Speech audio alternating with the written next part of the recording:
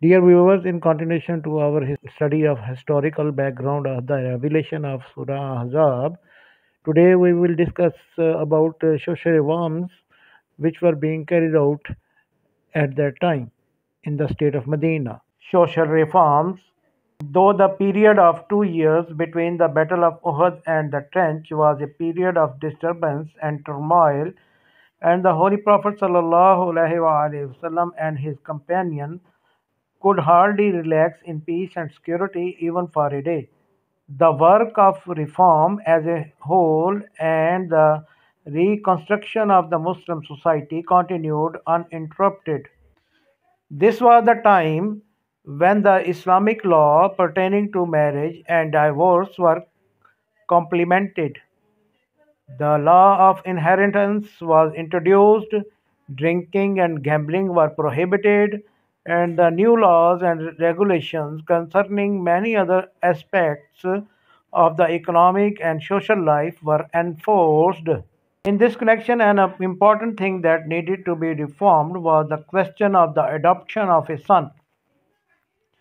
Whoever was adopted by the Arabs as a son was regarded as one of their of own offspring. He got share in inheritance. He was treated like a real son and real brother by the adopted mother and the adopted sister. He could not marry the daughter of his adopted father and his widow after his death. And the same was the case if the adopted son died or divorced a wife. The adopted father regarded the woman as his real daughter in law. This custom clashed in every detail with the laws of marriage and divorce and inheritance enjoined by Allah in Surah Al Baqarah and An Nisa.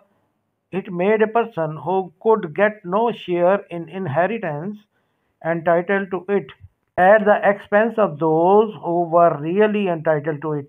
Prohibited marriage between the man and the woman who could contract marriage perfectly lawfully.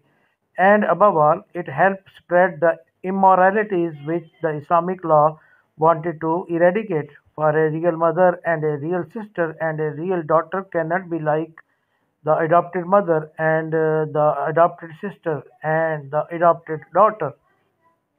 However, one may try to sanctify the adopted relations as a custom when the artificial relations endued with customary sanctity are allowed to mix freely like uh, the real relations, it cannot but produce evil result.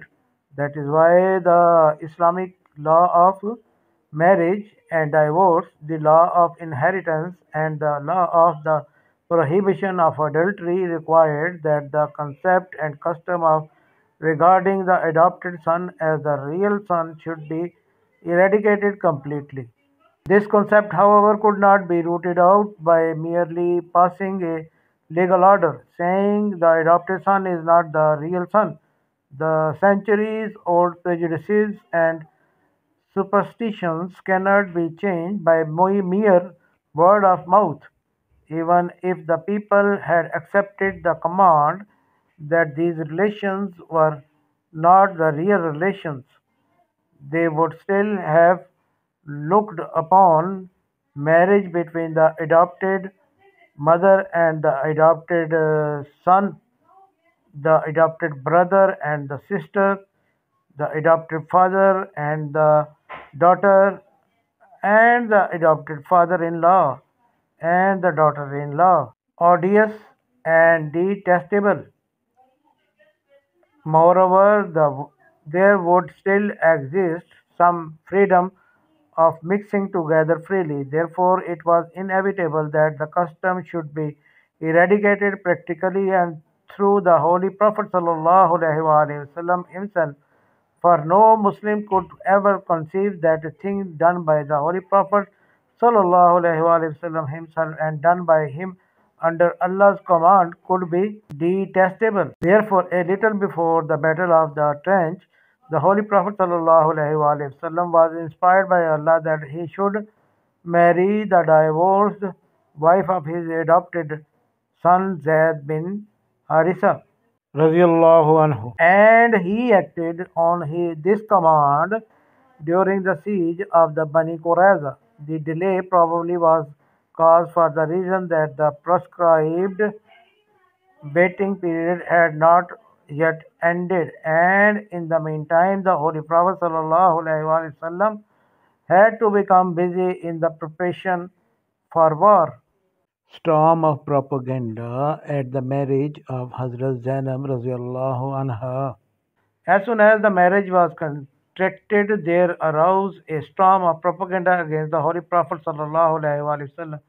The polytheists, the hypocrites, and the Jews all were burning with jealousy at his triumphs, which followed one after the other, the way they had been humbled within two years after Uhud in the battle of the trench and in the affair of the Qurayza had made them sore at heart. They had also lost hope that they could ever subdue him on the battlefield. Therefore, they seized the question of this marriage as a God sent for themselves and thought they would put an end to his moral superiority, which was the real secret of his power and success. Therefore, stories were concocted that Muhammad sallallahu alaihi wasallam, God forbid, had fallen in love with his daughter-in-law, and when the son had come to know of this, he divorced his wife, and the father married his daughter-in-law. Na'uzubillah. The propaganda, however, was absurd on the face of it. Hazrat Zainab was the Holy Prophet sallallahu alaihi wasallam's first cousin. He had known her from childhood to youth, so there could be no question of his falling in love with her at first sight. Then he himself had arranged her marriage with Hazrat ta'ala anhu under his personal influence, although her whole family had opposed it. They did not like that a daughter of the noble Quraysh should be given in a marriage to a freed slave. Hazrat Zainab anha herself was not happy at this arrangement, but everyone had to submit to the Holy Prophet wasallam's command. The marriage was solemnized and a precedent was set in Arabia that Islam had raised a freed slave to the status of the Qurayshite nobility.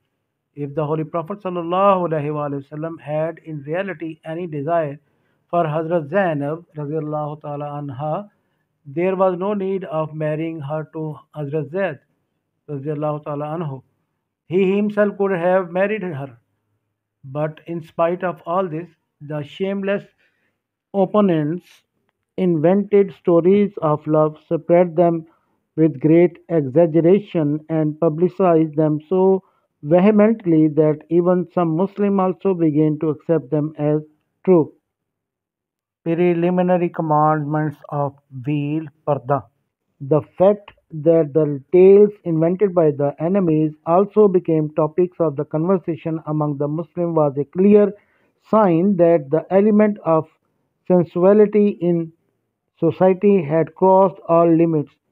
If this melody had not been there, it was not possible that minds would have paid any attention whatever to such absurd and disgusting stories about a righteous and pure person like the Holy Prophet wasallam. This was precisely the occasion when the reformative commandments pertaining to the law of hijab or parda or veil were first enforced in the Islamic society. These reforms were introduced in this surah and complemented a year later in Surah An-Nur when a slander was made on the honor of Hazrat Aisha radiallahu ta'ala anha. Domestic affairs of the Holy Prophet sallallahu. There were two other problems which needed attention at that time, though apparently they pertained to the Holy Prophet sallallahu alaihi wasallam's domestic life. It was necessary to resolve them for the domestic and mental peace of the person. who was exerting every effort to promote the cause of Allah's religion and was day and night absorbed in this great mission. Therefore, Allah took these two problems also officially in His own hand. The first problem was that economically the Holy Prophet ﷺ at that time was in straitened circumstances. During the first four years, he had no source of income whatever. In the year 4 after Hijrah, after the banishment of the Bani an-Nadir, a portion of their evacuated lands was reserved for his use by the command of Allah, but it was not enough for his family requirements. On the other hand, the duties of the office of prophethood were so onerous that they were absorbing all his energies of the mind and body and heart and every moment of his time. He could not make any effort at all for earning his livelihood. In conditions such as these, when his wives happened to disturb his mental peace because of economic hardships, he would feel doubly strained and taxed. The other problem was that before marrying Hazrat Zainab radiallahu anha, he had four wives already in the houses. Hazrat Sauda, Hazrat Aisha, Hazrat Hafsa, and Hazrat Umm Salma Rizwanullahi Ajma'in. Hazrat Zainab radiallahu anha was his fifth wife at this. The opponents raised the objection and the Muslim also started entertaining doubts that as for others it had been forbidden to keep more than four wives at a time, but how the Holy Prophet himself had taken a fifth wife also. Here we take a break. Alhamdulillah, we have completed the study of the fourth episode of Surah Al Ahzab. In the next episode, we will study more about uh, the events surrounding Battle of Trench. Kindly continue to watch my videos by subscribing my channel Jemeil TV. Thanks.